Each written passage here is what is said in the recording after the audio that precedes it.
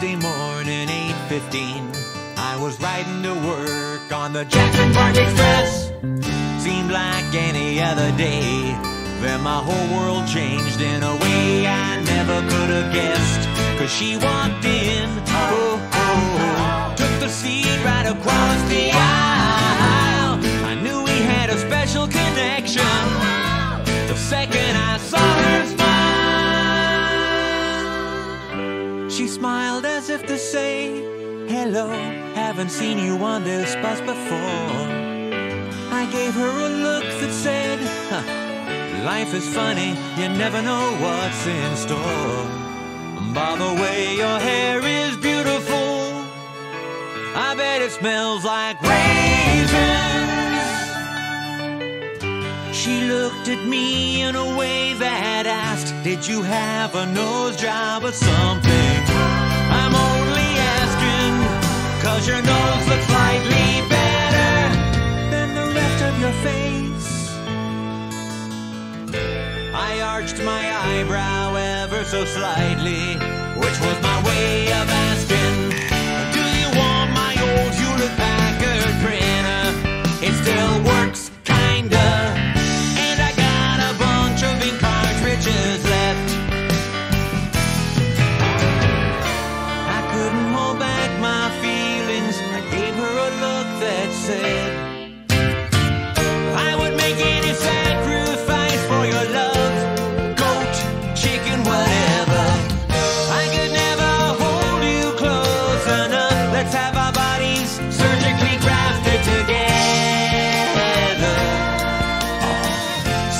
Surgically grafted together.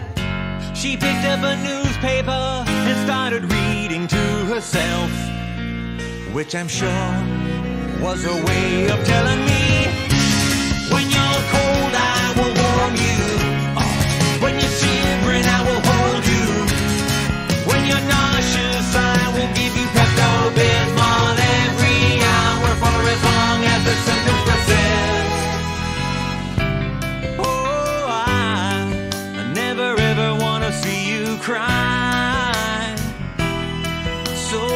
please, let me cauterize your tear ducts with an arc welder. Then I'm pretty sure she looked at me out of the corner of her good eye. And though she never spoke a word, this is exactly what I heard. She was saying,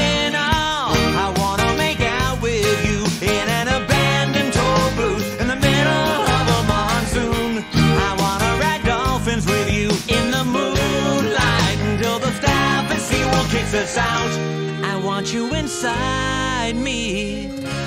Oh, oh, like a tapeworm. I pointed to the side of my mouth as a way of indicating. Hey, I think you got something on the side of your mouth. She licked the corner of her lips as if to say, Here.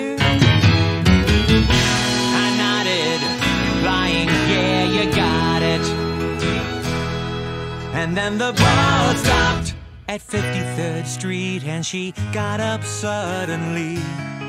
Where are you going? Pleaded my eyes, baby. Don't you do this to me. Think of the beautiful children we could have someday. We could school them at home,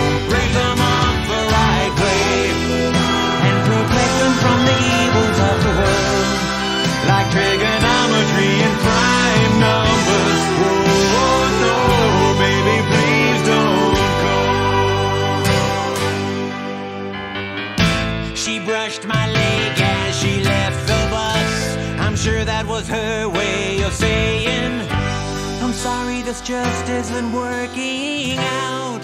You're suffocating me. I need some space to find out what life's all about. So goodbye forever, my love. And deep inside, I knew she was right. It was time for us both to move on.